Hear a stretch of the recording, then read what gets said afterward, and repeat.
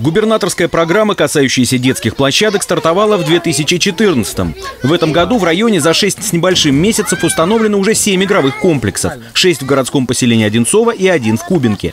Площадки выдержаны в трех основных стилях – экогородок, море и замок – и оснащены элементами для детей разных возрастов. Для ребят постарше и для вполне взрослых людей есть силовые станки и тренажеры для воркаута. На первом месте – вопросы безопасности.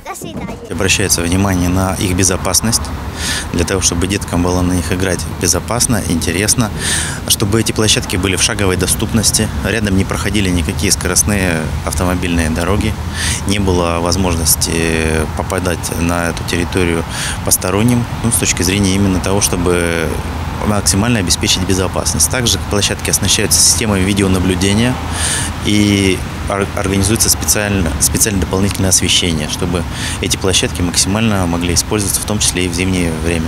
Все элементы и тренажеры спроектированы с антивандальным запасом прочности. Площадки обнесены заборчиками, чтобы малыши не смогли случайно выйти за их пределы. Покрытие сделано из мягкого материала. Главные эксперты, жители окрестных домов, оценили игровые комплексы положительно.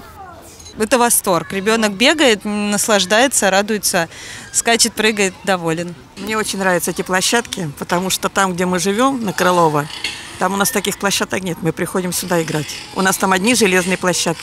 Мне она очень нравится, потому что тут э, много тренажеров есть, качели классно построили, и большой корабль. И там классно очень играть. Э, мы играем там в догонялки всякие, в стоп-землю. Настоящий подарок для нас. Мы этого долго ждали. Вот лично я со своим ребенком вот уже несколько лет ждала, когда же вот рядом с нашим домом что-то такое появится. Я вот просто благодарна вот этому человеку, который это создал, честно. Региональная и муниципальные власти выступают в создании игровых комплексов полноправными партнерами. Одинцовский район строит основание будущей площадки, подводит к нему свет, формирует вокруг тротуарную сеть, устанавливает видеонаблюдение – Область же берет на себя сами элементы и тренажеры и укладку покрытия из резиновой крошки.